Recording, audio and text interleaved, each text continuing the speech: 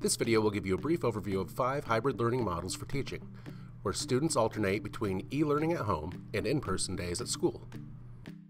While there is no one perfect approach, an overview of these models is intended to help teachers think strategically about designing learning experiences to best meet the needs of their students. Perhaps the most common model for hybrid learning is the split AB model. In this model, most direct instruction happens on the days students are in school. Students spend most of their e-learning days completing asynchronous assignments. Just like its name suggests, the Flip Hybrid model moves direct instruction to e-learning days in the form of pre-recorded video lessons. It's intended to maximize time for interaction on in-person days for things like labs, discussions, guided practice, and simulations.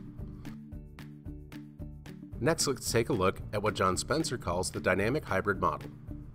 It's a more traditional approach where a new lesson is taught every day. All students, whether at home or in school, participate in the same lesson. Students at home can participate in class synchronously via live video streaming of the class, or they can participate asynchronously through a recording of the class. Author Catlin Tucker shared a great adaptation of the station rotation model for hybrid learning. In this model, students at home would participate synchronously with students in class. Teachers split the students into groups, with the first group consisting of students who are joining class virtually at home. In-person students are divided into the other two groups. Groups then rotate through a series of three stations.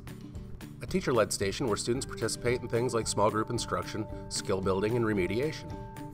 Unlike a traditional station rotation model, the students stay in one place while the teacher moves to each group when it's their turn for the teacher-led station. At-home groups join this station through breakout groups using a video conferencing tool like WebEx.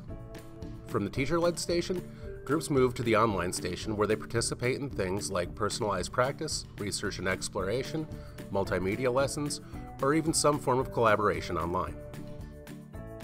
The third station is the offline station where students participate in off-screen activities like small group discussion, labs and experiments, active reading, and writing.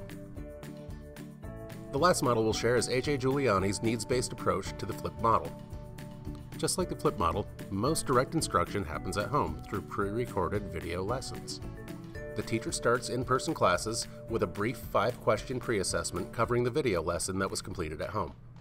Students are then divided into groups based on their pre-assessment score. Students answering less than two questions correctly rewatch the video lesson using a teacher-created handout with new questions. They're given multiple types of questions to answer and activities to complete. After about 30 minutes, the teacher answers questions and gives the entire group some new questions to answer. Students then answer questions individually, and if successful, move to Tier B. Students in Tier B work with a partner or in small groups to refine some skills and concepts together. They use the teacher or the video lesson as a resource. After about 30 minutes in Tier B, students take another formative assessment. Those answering 80% of the questions correctly move to Tier C. Students remaining in Tier B continue working with partners or groups, with the teacher helping as needed until they complete the next formative assessment. Students in Tier C work on a higher level challenge that provides them with options and choice to move from application to higher level thinking.